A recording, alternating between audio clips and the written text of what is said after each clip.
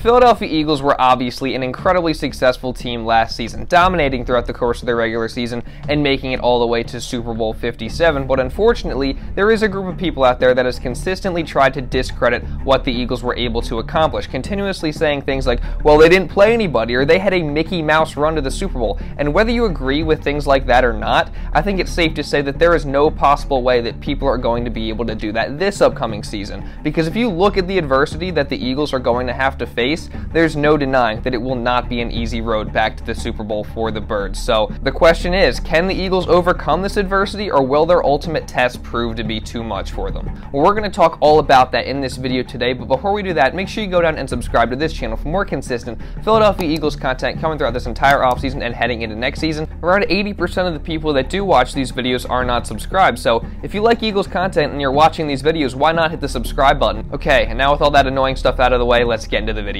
Last year, there is no doubt that the Eagles were one of, if not the most dominant team in the entire NFL. They finished with a record of 14 and 3, which was good for the best record in the entire league, tied with the Kansas City Chiefs. They also obviously had the number one record in the NFC East and the NFC, and it was just in general a historical regular season for the Eagles. 14 and 3 was their best record in franchise history, and they had multiple players on their team break franchise records as well. A.J. Brown, for example, set the Eagles' single season receiving yards record with 1,496 yards. DeVonta Smith set the record for most catches by an Eagles wide receiver in a single season at 95. Jalen Hurts tied the all-time Eagles record for the most combined touchdowns with 35, and he broke his own record for the most rushing touchdowns by an Eagles quarterback with 13. And to add on to that, the Eagles defense also broke their single season sack record as they had 70 sacks in the 2022 NFL season, which was also good for the third most sacks by any team in NFL history in a single year. And in addition to this, the Eagles team in general had 8 Pro Bowlers, 9 Pro Bowl alternates, and 6 All Pros. And the Eagles weren't just winning games, they were absolutely dominating teams. And that dominance continued into the postseason, where the Eagles got two dominant wins over the Giants and 49ers respectively, and they reached Super Bowl 57 versus the Kansas City Chiefs, where they ultimately ended up losing in arguably one of the best Super Bowls of all time, but still nonetheless it was a very successful season for the Eagles, and in their playoff run the Eagles continued to break more records. But despite the overwhelming success of the Eagles during the season and the dominance that they put on display, there were still a lot of people trying to discredit what the Eagles had accomplished. I mean, I feel like as an Eagles fan throughout the course of the season, all I heard was people saying, oh, well, the Eagles actually haven't beaten anybody that good. Their schedule's been super easy, and pretty much just calling them frauds, which I always thought was a pretty stupid argument because at the end of the day, for one, you can only play who's on your schedule. Plus, it's not like the Eagles were only playing the bottom feeders of the league. They did have some games where they faced some tough competition, and I'm definitely not saying that they had a super hard schedule because I definitely don't think that that's the case, but I always thought that it was a little ridiculous people trying to discredit them and calling them frauds because at a certain point, you just have to look at the Eagles and admit that they're a great team rather than saying that everyone else just sucks. You just have to give a team their props. And like I said, it's not like the Eagles hadn't beaten anyone. I mean, before the Super Bowl, the Eagles had a 9 1 record versus teams with a winning record, including the playoffs, which was tied for the second best record in NFL history, which seems pretty good to me. And in addition, I did a video back in February just before the Super Bowl and after the NFC Championship game detailing how the Eagles had proved everyone wrong a little bit more in detail than I went into in this video. So you can go check that out. I'll put it at the end of the video. Just finish watching this video first so I still get the YouTube retention. Okay, but why did I tell you all this? At this point, you're just saying, Philly, shut up and get to the point. I said all that to make a point that it does not matter how good the Eagles are. It does not matter what they may accomplish. There will always be people that disrespect and doubt the Philadelphia Eagles. And now, going into this season, you better believe the doubters are not going away. They're as loud as ever. I mean, I've seen people saying that them losing their coordinators and Shane Steichen and Jonathan Gannon is going to end up being a big problem, which I personally do not agree with. I think that going from Shane Steichen to Brian Johnson is going to be a seamless transition because Johnson's been here the past two seasons. He knows the offense, he knows what works, and he's obviously known Jalen Hurts for a very long time. So I expect no problems on the offensive side of the ball. And then defensively, I actually think Sean Desai could be an upgrade over Jonathan Gannon. I mean, I think we all saw the deficiencies in Jonathan Gannon's defensive scheme on the national stage in the Super Bowl, but those issues existed far before we even got to that point. They were there the entire two years he was the Eagles defensive coordinator. So I think Sean Desai coming in, he's going to be a little bit more aggressive in terms of his play calling, and I expect him to be an upgrade. So I see no problems with their coordinator situation. I'm actually really confident about that. But the main thing that I see people talking about, and this is really what made me want to make this video in the first place, is the Eagles schedule, which is significantly harder than their schedule was last year. And like I said,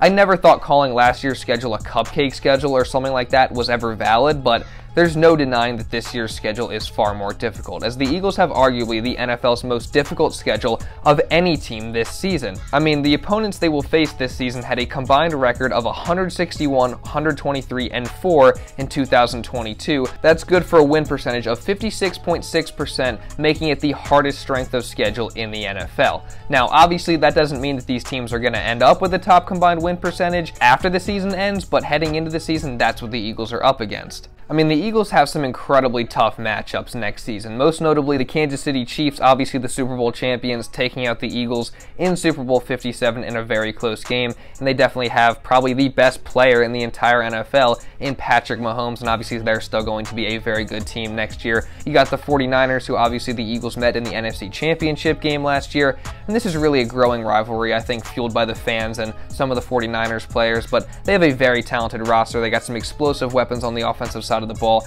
and probably the best defense in the entire league. You also have teams like the Miami Dolphins, who they're some speed demons down there in Miami. They got some explosive offensive weapons, mainly Tyreek Hill and Jaylen Waddle. They just keep adding speed to that offense. You got Tua under center. He's evolving as a player as well, and their defense is also improving. They're a very good team. You have the Dallas Cowboys, who obviously the Eagles are going to see twice, as they do every single year as their division rivals. Probably the Eagles' number one rival in the entire league, and they had some solid offseason moves to make their team better as well. You got the Buffalo Bills with Josh Allen, who's a very good quarterback, one of the best in the entire league, and they're a consistent Super Bowl contender as well. Just a great team overall. You got a team like the New York Jets, who they had a really good roster last year, and they just added a Hall of Fame caliber quarterback in Aaron Rodgers. So we're going to see how good they are. And that's not even all the good teams that the Eagles are going to face next year, but there's no doubt that all these are going to be incredibly tough matchups for the Eagles this season. And that doesn't even take into account the actual schedule itself and how it plays out.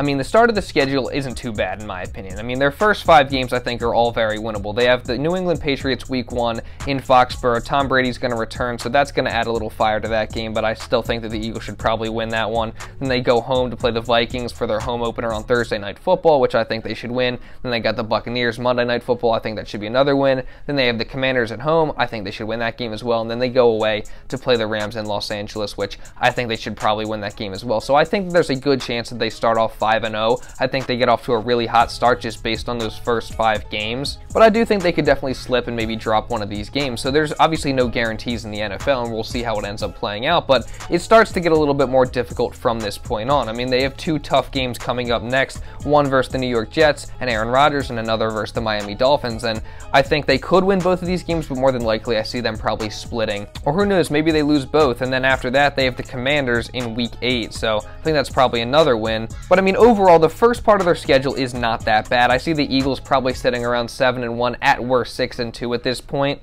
and looking good moving forward. But then we hit week 9, which quite possibly kicks off the toughest stretch of regular season games for the Eagles in recent history, starting with the Dallas Cowboys in week 9, and then they have their bye week, then they play the Kansas City Chiefs on Monday Night Football in Arrowhead, then they have the Bills on a short week, then the 49ers, and then the Cowboys again on Sunday Night Football in Dallas. I mean, that is an incredibly tough stretch of games for the Eagles. And Eagles writer and reporter Reuben Frank seems to think, like I said earlier, that this could be one of the toughest stretches of schedule in Eagles regular season history, as he wrote an article saying, quote, from November 5th through December 10th, the Eagles face the 12 and 5 Cowboys, 14 and 3 Chiefs, 13 and 3 Bills, 13 and 4 49ers, and the 12 and 5 Cowboys again, with the Chiefs at Arrowhead on a Monday night, the Bills at home on a short week, and the second Cowboys game in North Texas on a Sunday night. That's five opponents and a combined 64 and 20 record in 2022, a 76.2% win percentage. Think about how hard it is to face five straight teams that won 12 games the previous year. Most teams only face one or two opponents all year that won 12 games the year before. It's rare to face five in one season. Getting them all in a row, that's just about impossible. So it's definitely safe to say the Eagles are going to have their hands full these five games. And that's not to mention that the very next week, the Eagles have to turn around and play the Seattle Seahawks away, which is always tough. Then they face the Giants on Christmas Day at home, then the Cardinals, and then the Giants again to close out the season. So that is a very tough schedule to say the least. And that five game stretch, I think, could end up defining the Eagles season, and it's going to be critical for them to pull out a couple wins there. So yeah, the Eagles are no doubt going to be up against it, but is it ridiculous to say that even despite all of this, I'm not really too worried? I mean, I truly believe in this Eagles team. I believe in their roster. I believe in their quarterback. I believe in their coaches. I believe in the GM, obviously.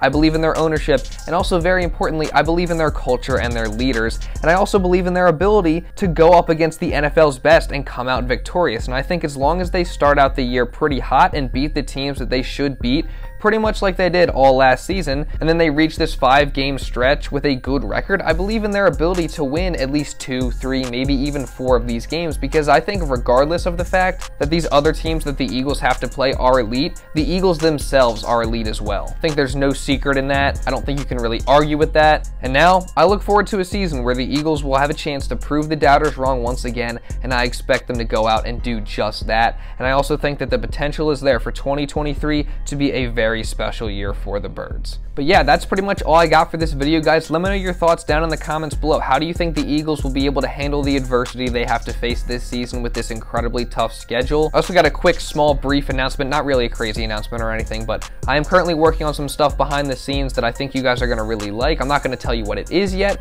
but just know that that's coming at some point in the near future, so keep your eye out for that. And if you did enjoy this video, make sure you drop a like on it and subscribe so you don't miss others like it. Again, only around 20% of the people that watch these videos are actually subscribed, so if you're in that other 80%, make sure you click the button if you are watching these videos and you enjoy what you see. And if you want to see that video I was talking about from February, you can go watch it right here. And then I also have a video where I predicted every single game on the Eagles schedule, so you can go watch this one right here. I don't know why I'm double pointing, but whatever, we're just going to go with it. And yeah, that's it. That's all we got for this one, guys. So thank you all so much for watching, and I'll see you in the next video.